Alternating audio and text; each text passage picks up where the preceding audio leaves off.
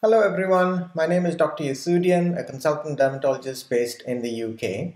Today we will look at gel nail polish, a relatively new nail cosmetic. It's become popular very quickly as it is low in cost, persistent and is easily applied.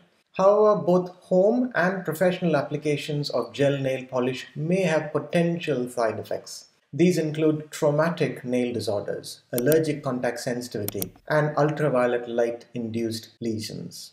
Gel nail polish is composed mainly of urethane, methacrylates, catalysts, and coloring agents. Three layers must be applied for each application. There's a base coat, then a nail polish, and then a top coat. To harden and to dry each layer, the nail must be exposed to light under a fluorescent bulb emitting ultraviolet light for 2 minutes or an LED light for just 30 seconds. Nail salons frequently use UV lamps because LED lamps are much more expensive.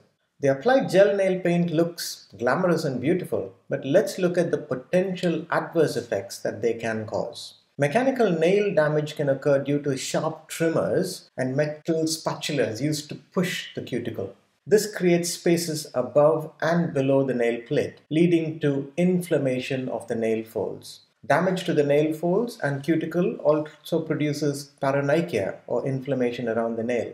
Traumatic separation of the nail plate from the nail bed can occur as seen in these images. It's otherwise called onycholysis. Repeated removal of the gel nail paint makes the nail more prone to fragility and become thin. Gel nail paints can also cause allergic contact eczema. For beauticians, methacrylates are the most common allergens found in artificial nails, followed by fragrances. The risk of sensitization to methacrylates is higher for beauticians and users of home kits rather than consumers who attend salons for professional nail polishing.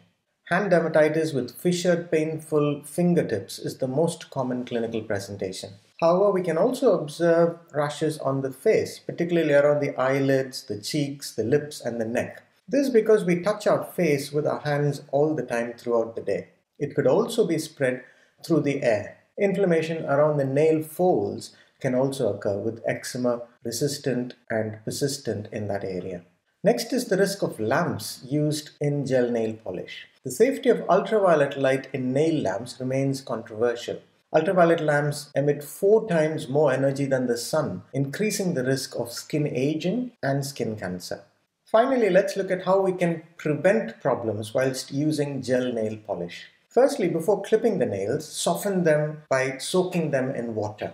The cutting instrument should be held perpendicular to the nail plate. Avoid manipulating the cuticles. To avoid contact allergy, beauticians who apply gel nail should be informed of the risks of sensitization to acrylates. Users should choose safe nail products and licensed nail technicians. Never touch the polish, especially when it is still soft. Avoid contact with any products that have been contaminated by acrylates. Latex, vinyl, and nitrile gloves are rapidly permeated by acrylates and therefore they are inefficient as a sole protective measure. I usually ask my patients to wear cotton gloves under the latex or nitrile gloves, but even this is not completely effective. Ideally, ethylene or polyethylene gloves offer the most effective prevention. However, these gloves are bulky and they're not that easy to use. To prevent light-induced adverse effects, limit the frequency and duration of the nail salon ultraviolet light exposure. Salon operators who use LED lights are preferable because they are shorter in duration. Before getting a gel manicure, apply a broad spectrum water resistant sunscreen, preferably a tinted sunscreen, to your hands to prevent skin cancer and premature skin aging. The ideal way of preventing problems to gel nail polish is through education. If you experience recurring nail problems, consider traditional nail polish instead of gel nail polish. To care for your nails in between gel manicures, try and take a nail polish holiday. Try not to wear nail polish for a couple of weeks or even longer. This will allow your nails time to repair. Always hydrate your nails. Between polishes, apply a moisturizing product such as petrolatum jelly to your nails and cuticles several times a day. This will minimize brittleness and help prevent your nail from chipping. I hope you found this information helpful. Thank you for listening and bye.